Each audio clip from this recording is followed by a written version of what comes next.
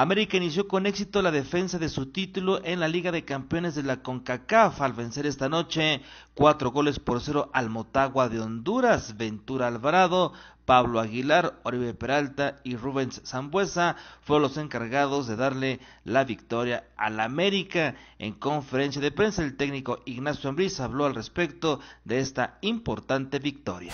La segunda el equipo que, hoy vuelvo a repetir es el segundo partido que jugamos juntos. Eh, no hemos hecho pretemporada con el equipo completo y, por eso la decisión de, que mejor el equipo jugara y a través del, juego ir corrigiendo, ya que de aquí hasta el 22 no tenemos muchos espacios para entrenar.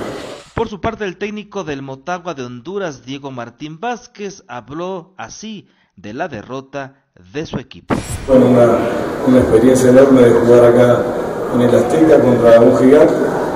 Y con respecto al partido, es complicado hacer un análisis profundo cuando te hacen dos goles de balón parado los 5 minutos.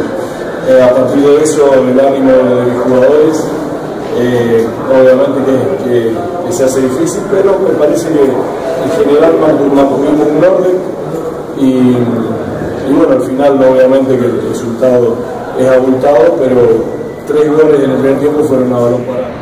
De esta manera llegó la primera victoria de Ignacio Ambriz al frente de las Águilas del América. Ahora se enfocará en enfrentar al Pachuca en la jornada 3 del torneo Apertura 2015 de la Liga MX. Para Enfoque Deportes, es Saúl Humano.